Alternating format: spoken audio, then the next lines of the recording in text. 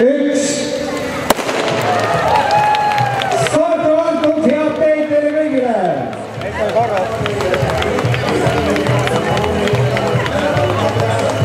aga äh, samuti ka äh, tööle, koju, poodi, kooli, igale poole kõndimised, liikumised.